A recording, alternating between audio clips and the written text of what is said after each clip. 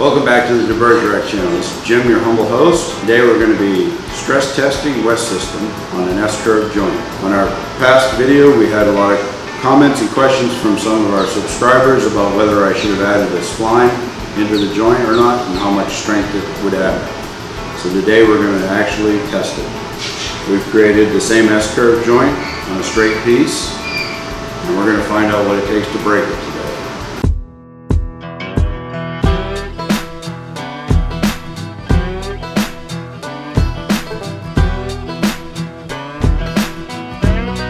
When we do the test, we're gonna have a spacer block underneath, and then this being the table, and we're gonna add weights to the top of this. So we'll continue to add weights until it gets up to the amount of weight that we need to crack it. We'll add both sides equally. So whatever I put on one side for weights, we put on the other side.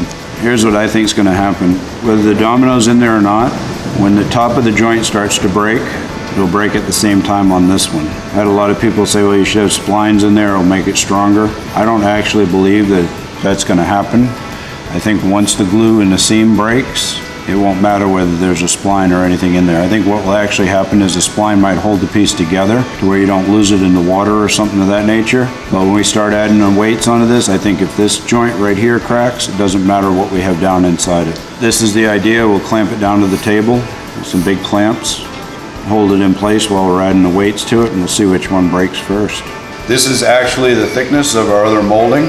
We're going to be adding weight to the outside here. So it's actually going to be over stressing of this joint. Otherwise we'd have to add weight just to this section, but let's give it a shot and see what it takes anyway. Just rough on the lead right now. When I put these two weights on, it'll be 262 pounds. So let's start putting the small ones on so we can get a more accurate count. 300 pounds. 330 pounds.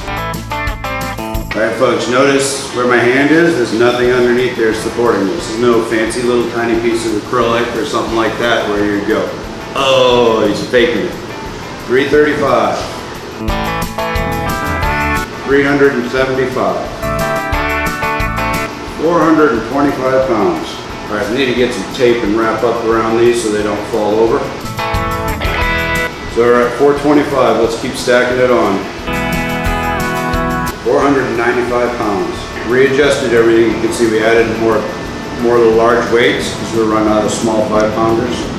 So right now, folks, on both sides, we're at about 500 pounds right now. It's starting to get a little dangerous here, but we'll keep on going. We'll just be careful. Don't do this at home. 660 and I need bigger weights. Right now we're at 714 on both joints. So we're at 875 pounds. Take a little weights off, put more big weights on. Okay, so we've taken off 130 pounds of the small weight. We've added even bigger weights back on here. I have two more weights to set up here before we start putting the small ones on. It's going to bring the weight to 905 pounds on each side of the joint. You can probably see the whole thing is bending, going straight to 905 pounds when I put these other two weights on. So that might be the camel that breaks, the needle that breaks the camel's back. We'll see.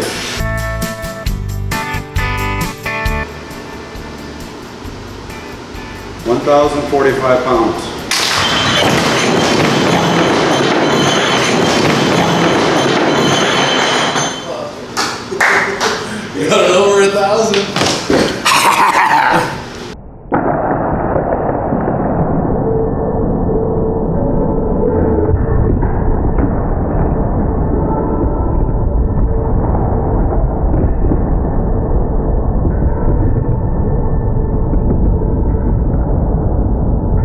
Look at that cool catastrophe.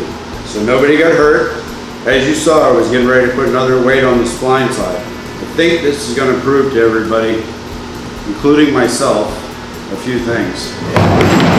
So let's get some of this weight here.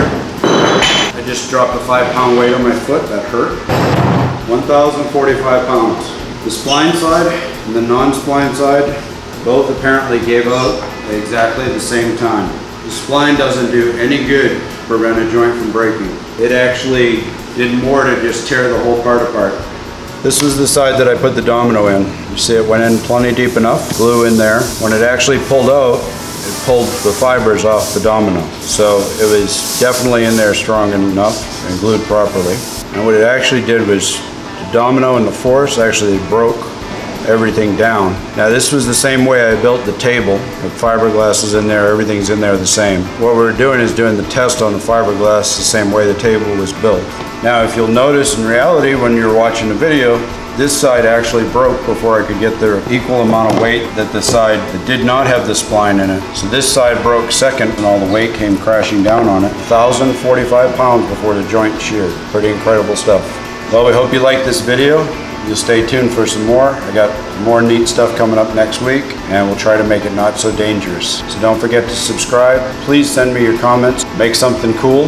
We'll talk at you all later.